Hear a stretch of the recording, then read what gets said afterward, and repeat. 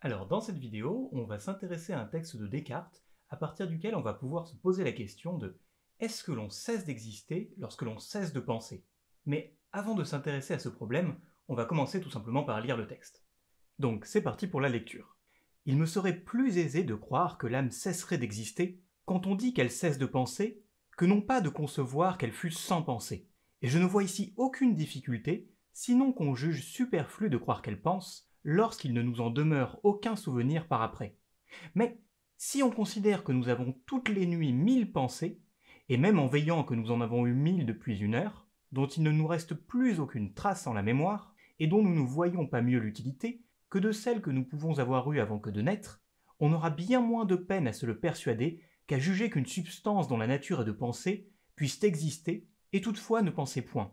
Je ne vois aussi aucune difficulté à entendre que les facultés d'imaginer et de sentir appartiennent à l'âme, à cause que ce sont des espèces de pensées, et néanmoins n'appartiennent qu'à l'âme en tant qu'elle est jointe au corps, à cause que ce sont des sortes de pensées sans lesquelles on peut concevoir l'âme toute pure.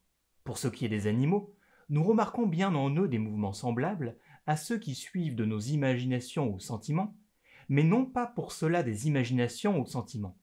Et au contraire, ces mêmes mouvements se pouvant aussi faire sans imagination, nous avons des raisons qui prouvent qu'ils se font ainsi en eux. Et ce texte, c'est donc un texte de Descartes, issu de la lettre au père Gibieuf en 1642. Alors pour mieux le comprendre, il faut revenir à la célèbre citation de Descartes Je pense donc je suis. Puisque si Descartes dit Je pense donc je suis, cela semble signifier que l'existence est intimement liée à la pensée. Et donc on pourrait penser que lorsque l'on ne pense pas, eh bien tout simplement on cesse d'exister. Par exemple lorsqu'on tombe dans le coma, que l'on est dans le sommeil, ou même plus simplement lorsque l'on médite, on pourrait considérer qu'on est dans un état de focalisation tel que, finalement, sans conscience de nos propres pensées, eh bien on ne pense pas. Et donc on en arrive à un point finalement où il est peut-être nécessaire de faire une distinction entre la conscience de sa propre pensée et la pensée de manière plus générale. Puisque en effet la quasi-totalité de notre existence se fait sans conscience de sa propre pensée. Donc on pourrait dire, même si c'est vraiment anachronique par rapport à Descartes, bien qu'on a une sorte de pensée inconsciente qui se fait en tâche de fond, et cette pensée qui se fait en tâche de fond, eh bien on n'en est pas conscient. Mais même si l'on n'en est pas conscient, cela ne signifie pas pour autant que l'on ne cesse de penser. Et en effet, pour Descartes, on ne peut cesser de penser puisque nous sommes une chose pensante, nous avons une âme, et comme notre âme se définit précisément par sa pensée, eh bien elle ne peut cesser de faire la chose par laquelle elle se définit. Ce n'aurait pas de sens en fait, ce serait comme dire que on peut parler sans parole. Et donc l'âme ne peut pas cesser d'exister sans penser, puisque c'est précisément ce qui la définit. Donc pour bien comprendre ce texte, en fait, il faut vraiment bien comprendre trois concepts. Premièrement, le concept d'âme développé par Descartes, qui est intimement lié au corps, et ensuite vraiment faire une distinction entre d'un côté la pensée au sens large, qui n'est pas nécessairement consciente, et puis d'un côté vraiment la pensée consciente, c'est-à-dire la pensée réfléchie en fait. Et à partir du moment où on a bien compris cette distinction, eh bien on peut comprendre que l'âme ne cesse de penser, finalement on n'a pas toujours conscience de sa propre pensée, mais on ne cesse jamais de penser tant que l'on existe. Et on le voit bien avec des exemples finalement euh, très simples, lorsque l'on est dans un état de sommeil, eh bien on ne cesse pas de penser, on continue de rêver, et finalement, le rêve, même si ce n'est pas forcément une expérience consciente, eh bien ça reste de la pensée.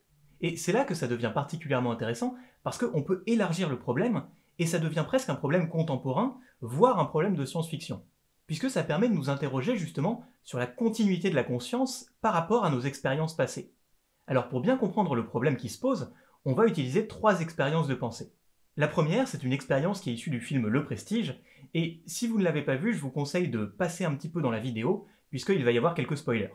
Donc, à la fin du film, l'un des magiciens fait croire qu'il fait un tour de magie, dans lequel il se téléporte, et dans un tour de magie, finalement, il y a une sorte d'astuce, euh, les, les magiciens ne se téléportent pas réellement. Mais là, en fait, la subtilité, c'est qu'il ne s'agit pas d'une téléportation, mais d'un dédoublement. Et c'est là que ça devient très intéressant parce que dans le film, le magicien ne sait pas où sa conscience va se retrouver lorsqu'il se dédouble. Peut-être que sa conscience reste dans sa personne originale, ou peut-être que sa conscience va se transférer finalement dans son double. Et c'est assez intéressant de se poser cette question de la continuité de la conscience. Est-ce que notre conscience finalement est liée à nos pensées passées, et à ce moment-là elle est intimement liée finalement à notre existence actuelle, ou est-ce que justement on peut dédoubler sa conscience de la même manière que l'on pourrait dédoubler ses pensées? Donc pour continuer un peu sur ce problème, on peut aller encore plus loin et imaginer qu'avec les technologies futures, on soit capable de transférer notre conscience, nos expériences passées, nos souvenirs, finalement tout ce qui nous constitue euh, comme une personne, dans une sorte d'ordinateur.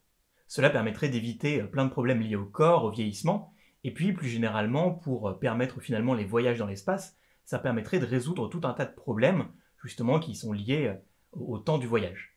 Donc passons pour le moment sur les subtilités techniques, évidemment c'est impossible pour le moment, mais imaginons que l'on soit capable comme ça de transférer notre conscience actuelle dans une version euh, informatique. On pourrait se dire, bon, très bien, il n'y a aucun problème, je transfère ma conscience dans une version robotique, informatique, et puis je continue de penser exactement de la même manière. Mais là où ça se complique un petit peu, c'est que on peut imaginer que si on est capable de transférer notre conscience dans une version informatisée, eh bien, pourquoi on ne serait pas aussi capable de la dédoubler? Un petit peu comme on fait euh, CTRL-C, CTRL-V, copier-coller, on pourrait être capable de se faire plusieurs versions de notre propre conscience, et à ce moment-là, ça devient assez complexe, puisque notre expérience actuelle, elle est continue, mais si on se dédouble, où est-ce que notre conscience finalement va arriver? Est-ce qu'elle va arriver dans seulement un de nos doubles, dans un double en particulier, ou est-ce que notre conscience va être partagée par tous les doubles? Et à ce moment-là, qu'arrive-t-il de notre conscience actuelle? Est-ce que nous disparaissons pour laisser place simplement à l'un de nos doubles, voire à tous nos doubles? Donc même si c'est un problème de science-fiction, ça pose quand même des problèmes qui sont assez intéressants. Ensuite, la dernière expérience que l'on peut faire, c'est tout simplement de se demander, justement, comme Descartes un petit peu euh, se le demande, lorsque l'on va se coucher, eh bien il y a une rupture dans la continuité de notre conscience. Lorsque l'on s'endort, on est encore conscient, lorsque l'on se réveille, on est de nouveau conscient, mais qu'est-ce qui permet de lier notre identité entre ces deux moments? Est-ce que je suis réellement finalement la même personne? Est-ce que c'est moi qui continue d'exister? Ou est-ce que chaque nuit, on pourrait dire que notre identité s'efface et que chaque jour, elle recommence mais dans une autre personne?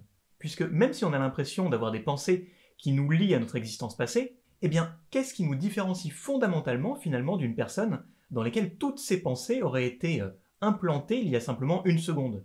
Et donc, encore une fois, ça pose le problème de la continuité de la pensée. Qu'est-ce qui nous assure de la continuité de notre existence, de la continuité de notre identité, puisque finalement on voit bien qu'il y a des trous dans notre conscience. Donc vous voyez, à partir d'un problème issu d'une phrase vraiment très très classique en philosophie, je pense donc je suis, on en arrive à se questionner sur des problématiques très très contemporaines voire des problèmes de science-fiction. Donc j'espère que ces différentes expériences de pensée euh, auront pu vous intéresser. Si c'est le cas, n'hésitez pas à vous abonner et on se voit dans une prochaine vidéo.